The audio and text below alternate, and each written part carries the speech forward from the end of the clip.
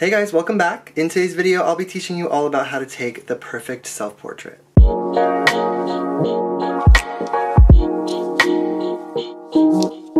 For me personally, there are so many times when I'm in the mood to shoot or create, but there's no one around to do it with. So today I'm gonna go over some of my favorite tips and techniques that I utilize when taking my own self-portraits. So let's get into it. Starting off, some things you'll need to capture the perfect self-portrait. Some kind of camera, like a point and shoot, DSLR, or even an iPhone could totally work. Quite literally anything that has a self-timer on it. But today I'll be using my Nikon Z7 and most likely switching my lenses throughout shooting. Next thing you'll need is a tripod or some kind of stand stand where your camera is absolutely safe from any falls. I'm not telling you to avoid the stacked pillow technique, but I also am.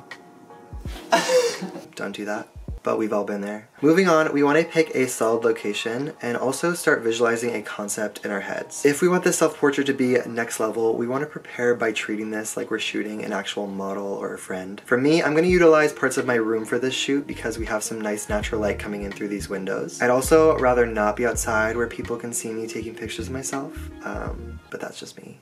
And because we will be in the photo ourselves, we want to also think about what we're going to wear. Sounds pretty simple, but having a nice outfit and frame can do a lot to complement your final image. So just think about the colors and the patterns involved in what you're going to wear, and just make sure it doesn't take away too much or distract from your final photo. So now that we have the gear we're using, a location, and an outfit in mind, let's get into more of the technical stuff. For the first image that I have in mind to capture, it actually doesn't call for a tripod. So for those of you who are about to stack your camera on some pillows, you're in luck. For this specific shot, we'll be shooting a mirror selfie, but a dope mirror selfie. So this semi full length mirror that I just recently purchased is meant for latching to the top of a door, but today we're gonna hook it up to the top of my blinds. Probably not the safest thing to do, but the natural light coming in through my windows was just too perfect. Next, you're gonna wanna think about your background and foreground objects that are appearing in your photo. For mine, I'll be bringing in this light up headboard into frame. I'll also be hanging up some additional string lights to add some more interest and warmth into my overall shot. I suggest taking advantage of things you have around around your space and just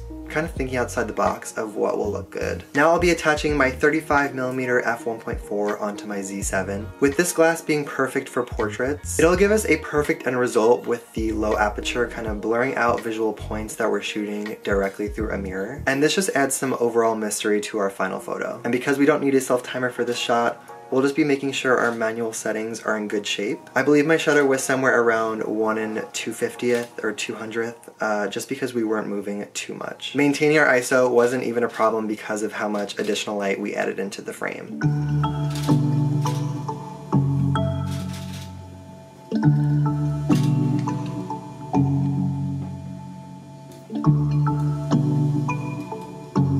And here's the final photo.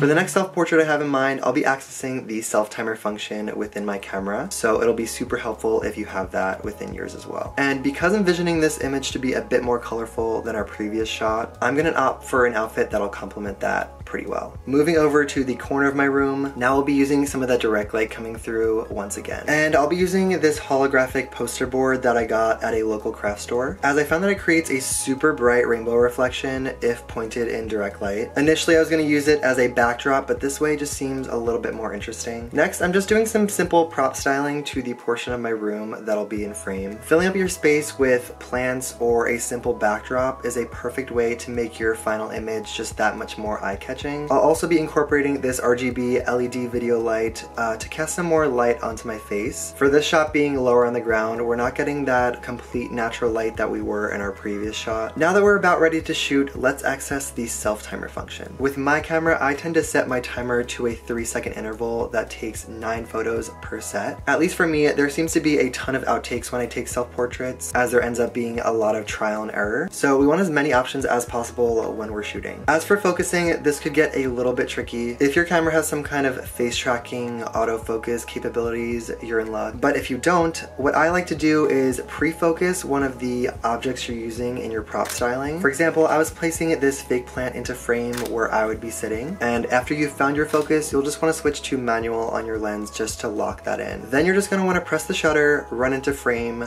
find your good side, and pose. With this focusing technique, you'll be sure to get some out of focus frames, but it usually works itself out in the end. And here's the final photo.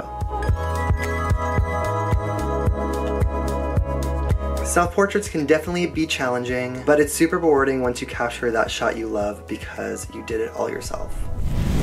Okay, but before we end off this video, I'm briefly interrupting from a later date to let you all know that my first ever online class with Skillshare is now live. I'm super excited to finally announce this, especially because I reveal elements of my photography process that I've never shared anywhere before. But my class will take you behind the scenes on two of my shoots that explore my technical and creative decisions behind taking my portraits. After that, we'll be heading into the studio for a first ever look on how I edit my photos and which programs I use to do so. So whether you're new to photography or a pro looking to grow your following, you'll totally take away something from this class that will improve your skills. And because Skillshare is sponsoring this video, you can sign up with the link in the description to get a two-month free trial, with their site offering thousands of classes from photography to productivity to freelance and entrepreneurship. You'll be sure to find something that fuels your creativity at a super inexpensive cost. And after you finish watching my class, make sure to keep up with the other creatives on the platform. And with all of that, I hope you guys learned a thing or two from the tips and tricks I shared with you today. And if this inspired you to go out and take your own self-portraits or, you know, stay inside like I did, make sure to share them on Instagram and tag me so I can see. And lastly, if you enjoyed, make sure to throw this video a like. I really appreciate it. But I'll see you soon. Bye.